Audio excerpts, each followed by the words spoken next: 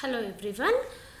In today's computer network lab program, we'll discuss the program 1 that is first program of part A. So it is actually network simulator programs.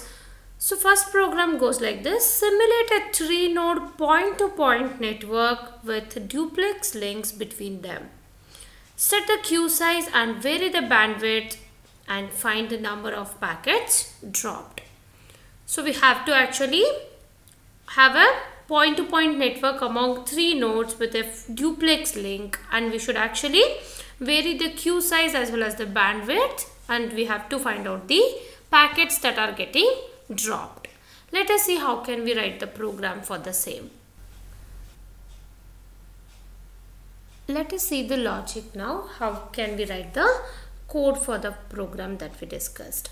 So before this I just want to talk about the prerequisites. You should have NS2 installed on your Ubuntu okay? So that you have to make sure that you have your uh, network simulator 2 okay? Installed on your Ubuntu. Uh, then you can write this code and then execute it on Ubuntu. So let us see the code okay Set NS new simulator. What exactly is this? We are actually creating the simulator. Okay. Here we are actually creating the simulator.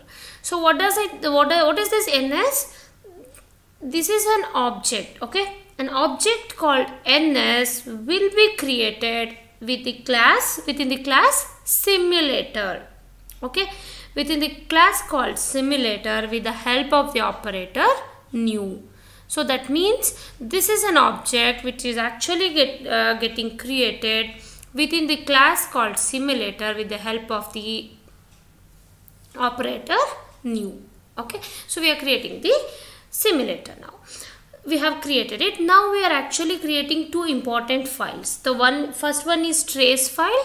The second one is NAM file. Okay, NAM is nothing but network animation okay this is the network animation. That is nam file and the other one is trace file. So set and trace open prog that means program 1.tr trace file extension is tr and it, we are creating it in write mode. That's why this w is for. So we have created the trace file here with the name program 1 that is prog1 so and then here we are creating NAM file, network animation file, open program1.nam. .nam is the extension. We are again we are creating that in the write mode. So what are these two lines then? Dollar symbol ns trace all dollar symbol n trace even here same thing but it is for NAM file. So what are these two lines are? See this dollar symbol, right? It indicates like it is actually content of NS. What does it mean?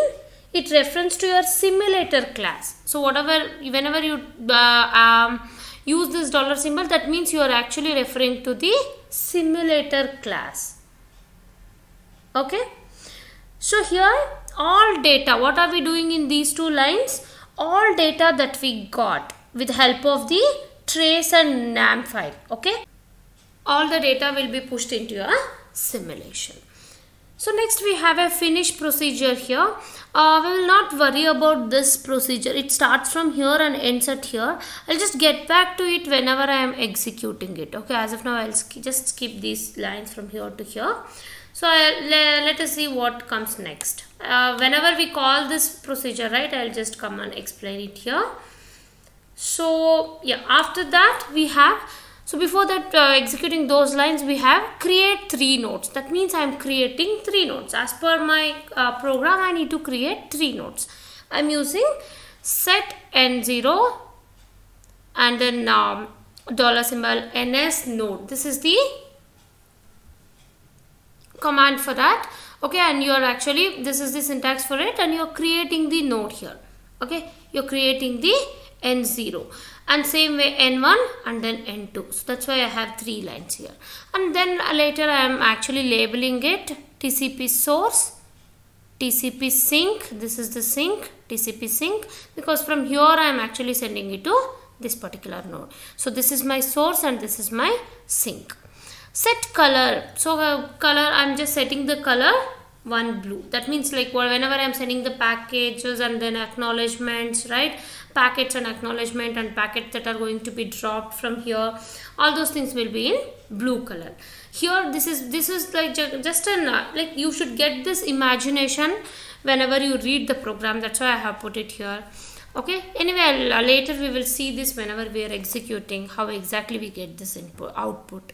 So these are all the packets that you are seeing right? These are all the packets that you are sending from 0 to 1 and this is actually from 1 to 2 so these are all the acknowledgements. 2 to 1 this is the acknowledgement. 1 to 0 this is the acknowledgement. And packet drop so you can see it from here. From source itself actually sometimes most of the time you will actually see the package dropping out. Okay?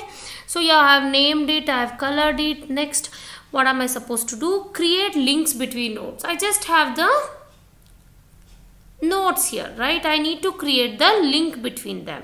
So, see here. To create the no um, link right i need six seven parameters. The first one is in anyway simulator class right? So this is simulator class. And then what I have type of link. This is the duplex link. That means it is full duplex. You can send as well as receive in the same time. So this is actually duplex link. Then you have um, uh, what is this one then? Sender node. From which node are you sending? And then this is destination node. To which node are you sending the data? And then you have bandwidth.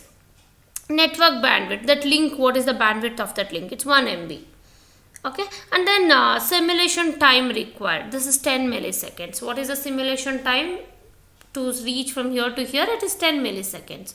And what is the um, type of the queue which you have used. It is drop tail drop tail is the type of the queue so yeah we have created this is one link and this is one link. So two links we have we have created it in two lines. So make the link orientation. Like from which like how are you orienting it? From this here to here right? If you just draw an arrow mark you can just consider this as an arrow mark so from 0 to 1 i mean it's my node 1 is towards its right right? So how is the orientation? Just see here duplex link n0 to n1 right orient. That means n0 will be here and n1 will come towards its right. And here n1 n2 n2 will actually come towards right side of the node 1 that's what the orientation we are doing it here. Next we are actually setting the queue size so how are we doing? I hope you are understanding this right? This uh, hash whatever we have put this is actually comments. So ns uh, queue limit. Queue limit n0 to n1 10 so what is this queue limit? If you um, have more than if you try to put more than 10 packets in the queue it will actually get it will get dropped. That that means the uh, packets more than 10 will not be retained in the queue. So this is the maximum capacity of the queue. We have two queues right? 0 to 1 and then 1 to 2 that's why we are creating two queue limits here. Clear? And we know right? So to communicate between any two nodes we need two important protocols. What are they? First one is transport layer protocol second one is application layer protocol. There are many other protocols but these are the two important protocols that we need to understand right? So yeah this one we checked queue limit we checked.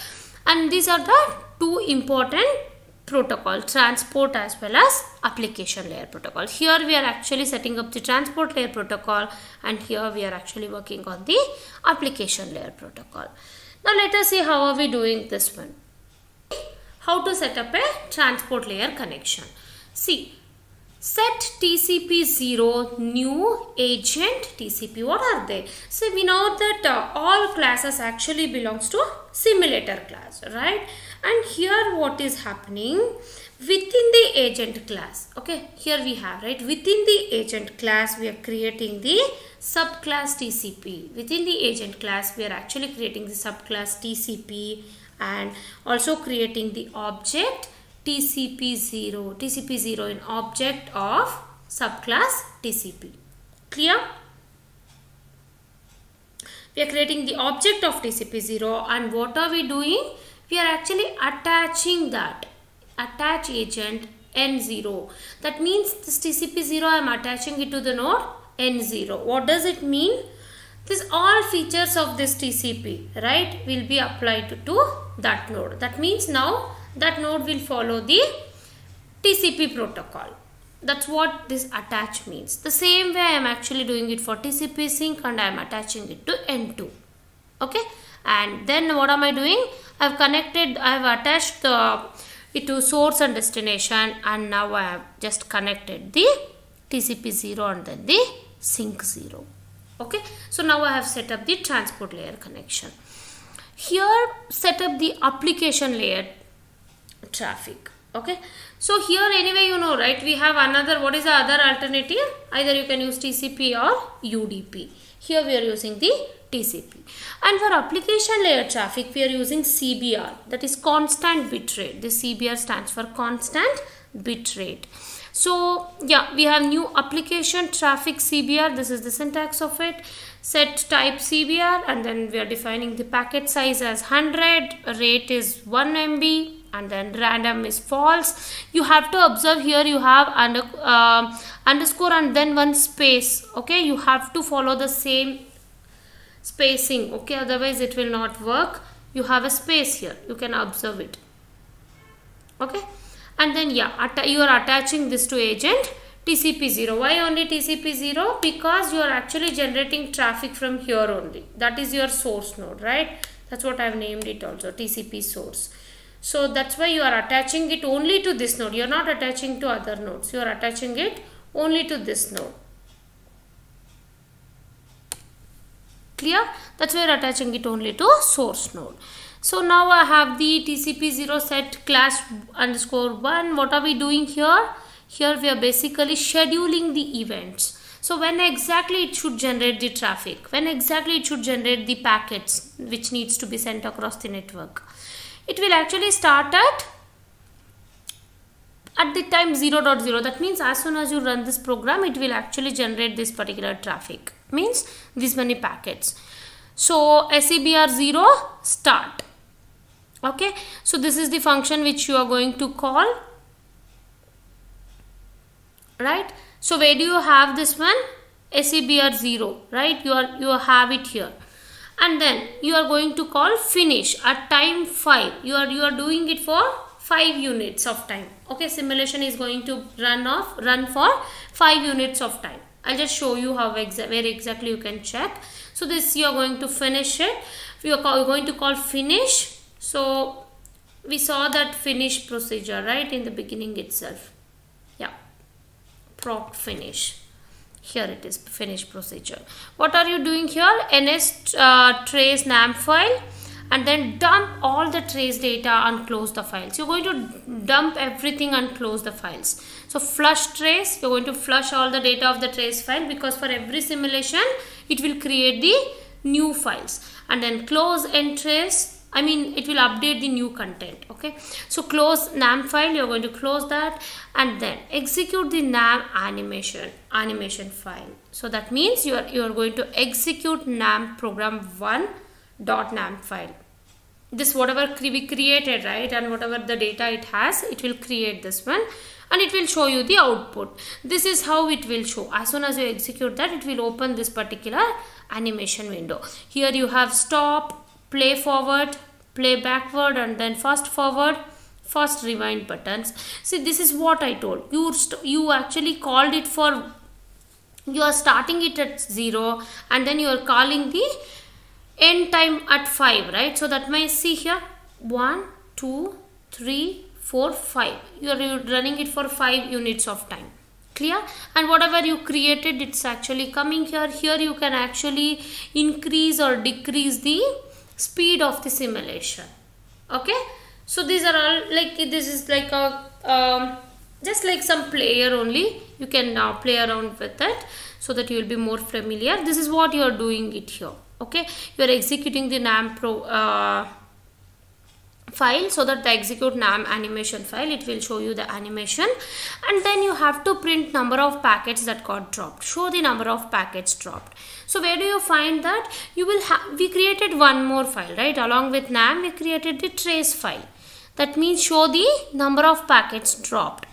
So echo the number of packets dropped is number of packet drops is like you will actually um, print this one and then using this grep grep this is the uh, command that you are using grep command to count the number of packet drops. In in your uh, trace file right wherever you find this one this uh, D okay this upper what do you call it as this uh, shift D okay whenever you find this one like it, that means it indicates a packet drop. So you count that and you print it as number of packet drops okay? So that means you are finishing this particular program and then you will this is what right the finish procedure. Then what are you doing? You're running the simulation.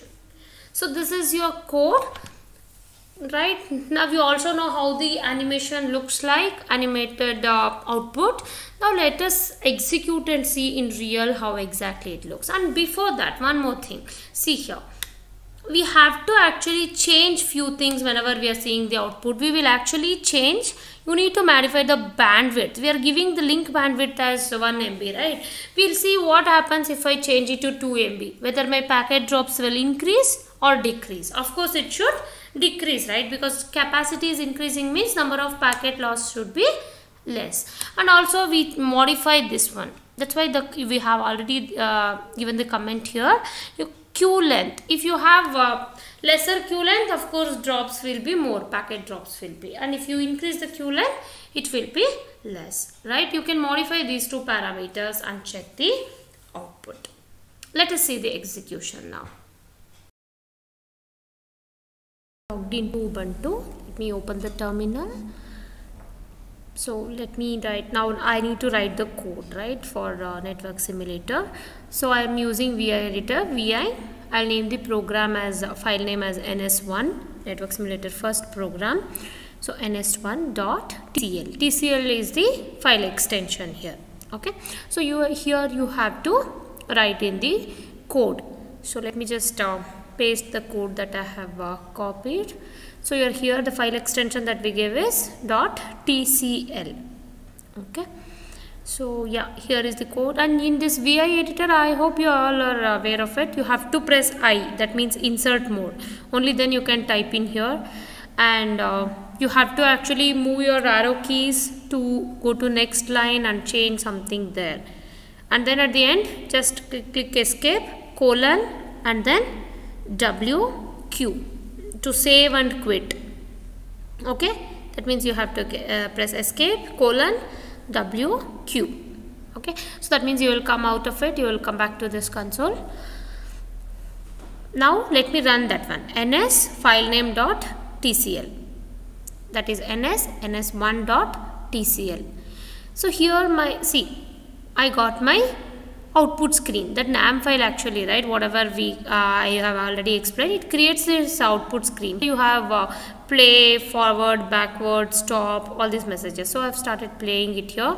So that means it is like the whatever you can see the front see whatever the packet it got dropped now okay? The packet got dropped. And whatever the forward uh, blue marks that you see it's actually the packets that are getting delivered. So whatever from source you can see some drops right? That is nothing but your packet drop. Okay? So you saw right first and second two uh, we saw one more packet got dropped just now. So that is your packet drop. And yeah it's actually the pack and whatever the small ones that you see right the down uh, the second row that is nothing but your acknowledgement. Okay? So that is your acknowledgement whereas the forward one the bigger uh, blue marks are your packets so that means your uh, simulation got succeeded now. Let me stop that because we had defined a predefined time right? So yeah so see you can see that here right? The number of packet drop is 8 the number of uh, packet drop is 8 okay?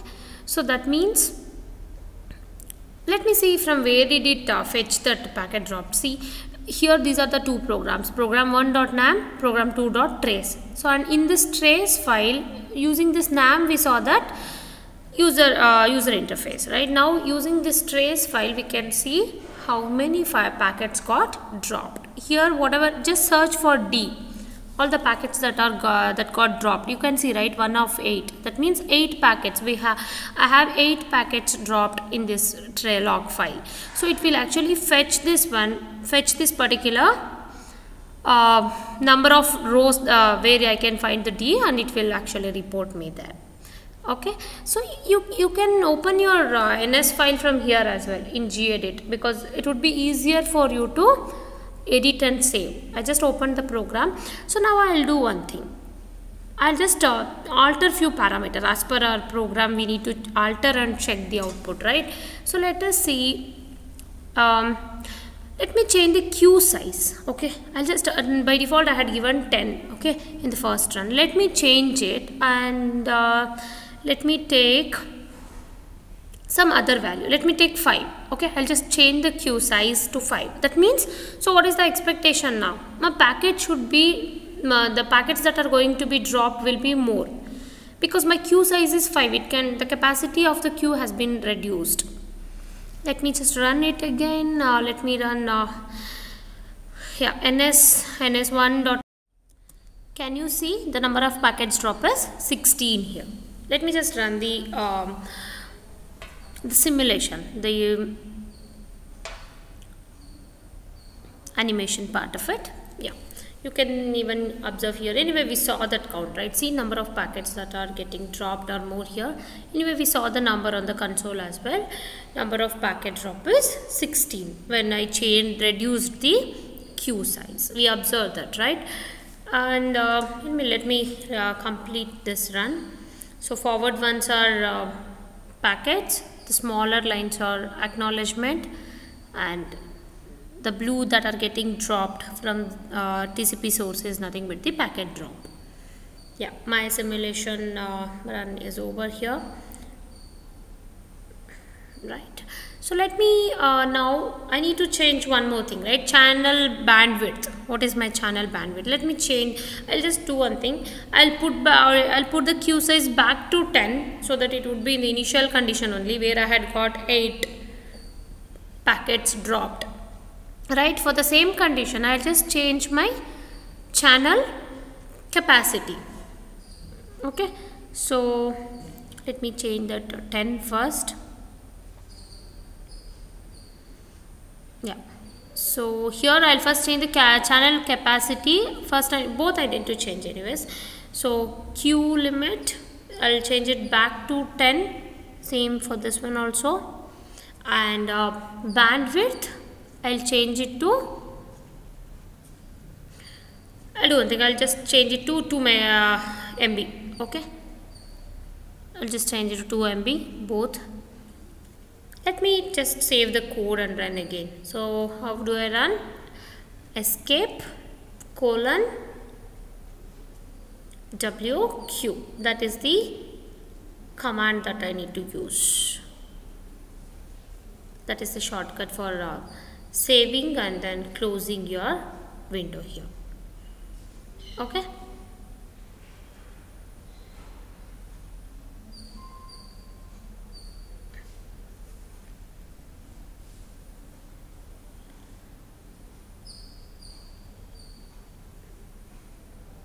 got saved. Let me run the program. Ns ns1.tcl so that is the command here. Ns ns1.tcl okay. Let me run the program. Just press enter.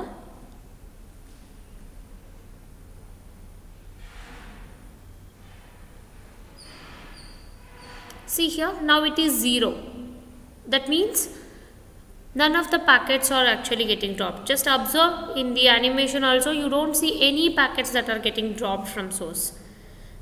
Because now the channel capacity has been doubled with the same old queue size but still uh, as the capacity itself is doubled even with the same queue size we can achieve complete throughput. Like i mean uh, we, we can experience zero packet drops. No packet loss at all here. So yeah you observed it right even in the console we saw it's only zero we saw that right the number of packet drop is zero clear so now uh, let us see the uh, trace file. Trace file gets updated every run. Okay. Let me just uh, open and see the trace file. Uh, program prog1.tr right so that is my nam file and then yeah here is my trace file. You can see that in the home page okay? It will get created where, where you had saved the program.